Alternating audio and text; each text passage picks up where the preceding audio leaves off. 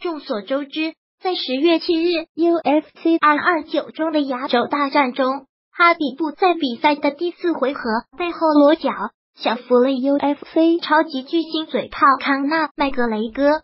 赛后，双方团队还因为口角发生了群殴事件。对此，有球迷调侃道：“这个票钱花的值，掏一分钱能看两场比赛。”赛后，输掉比赛的嘴炮仿佛并未受到失败的影响，还到处参加活动去宣传他的酒。而且赛后还有媒体报道说，嘴炮在比赛的过程中对哈比布表示过歉意，说道：“这只是生意，我无意冒犯你。”只赛前对哈比布说的那些垃圾话，难道说嘴炮已经不在乎输赢，彻底的从一名职业格斗选手变成了一名商人了吗？如今看来好像并不是。自以为他赛后的洒脱，难免有些强颜欢笑，不过是为了显得心里更强大一些。为啥这么说？因为如今嘴炮已经开始表现出强烈的二番战欲望了。近日有外媒报道。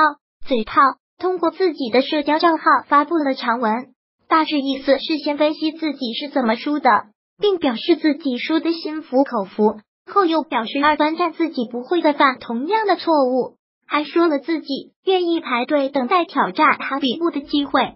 字里行间不难看出，嘴炮如今已经是在恳求哈比布能够给自己二番战的机会了。当然，这更主要是写给白大拿看的。因为他才是 UFC 的老板，最有能力促成二番战的人也非他莫属。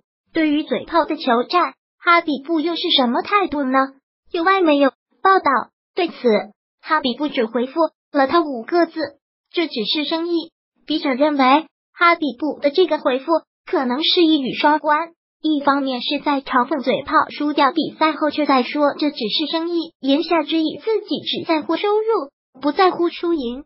另一方面，也是在告诉嘴炮，你已经被我击败，没有价值了。如今我有更好的生意要去做，你就等着吧。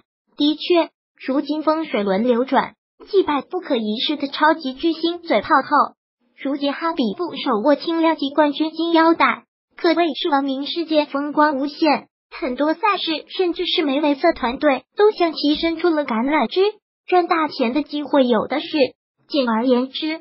如今主动权已经牢牢的握在了哈比布的手里，嘴炮想要二番战恐怕是遥遥无期了。